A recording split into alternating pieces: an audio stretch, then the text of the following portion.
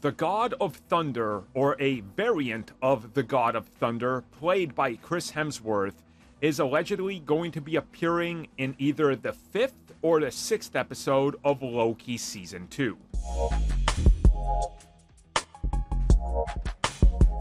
So, when it comes to Loki Season 2, the press was given the first four episodes to watch, while at the premiere, they had the first two episodes.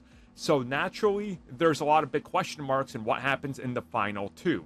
Previously, when we've seen this type of rollout with the seasons and the press, there's a lot of stuff that happens in the episodes that they decide not to give for reviews because of major spoilers.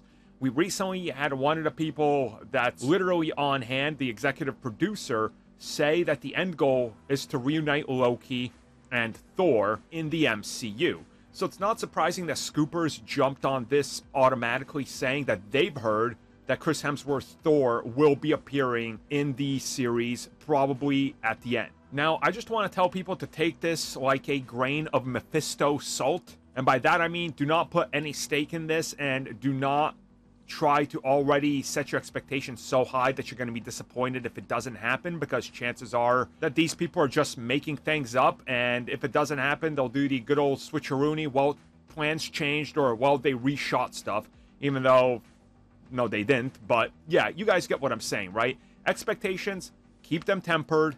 Maybe there's going to be a surprise maybe there won't. Maybe it is thor maybe it's not. Maybe it's another actor playing thor uh, that could happen too. I mean, I don't know. It could really be anything, but I'm not personally expecting it to happen. But at the same time, if you really think about it, maybe that was sort of a foreshadowing and a tease by them saying, well, our end goal is this. So maybe they revealed what the ending of the season was or series, if this is it, because we don't know. So whatever happens, happens. Um, if he shows up, cool. If he doesn't, okay. It doesn't really do anything to my enjoyment of this. So I guess we'll see what happens. But um, what's your guys' feeling on this? I'm not, I'm not buying into this.